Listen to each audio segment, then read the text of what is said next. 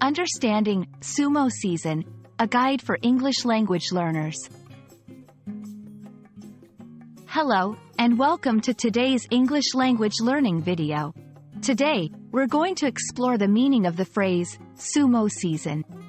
This might be a new term for many of you, and our goal is to help you understand its context and usage in English.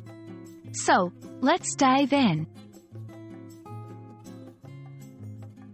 Sumo season refers to specific periods during the year when professional sumo wrestling tournaments are held.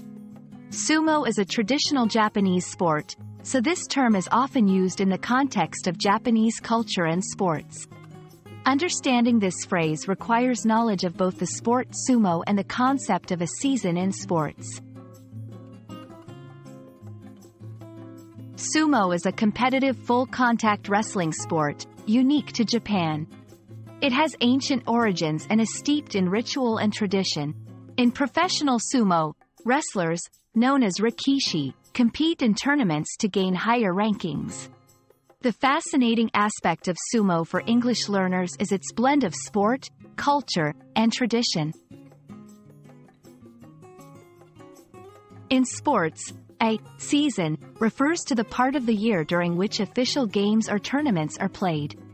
The term sumo season specifically refers to the times of the year when sumo tournaments take place. There are six major sumo tournaments, or basho, each year, spread across different months. When talking about sumo, you might say, I'm excited for the upcoming sumo season, or ask, which rikishi do you think will dominate this sumo season? This phrase can be a great way to engage in conversations about sports, culture, or events happening in Japan.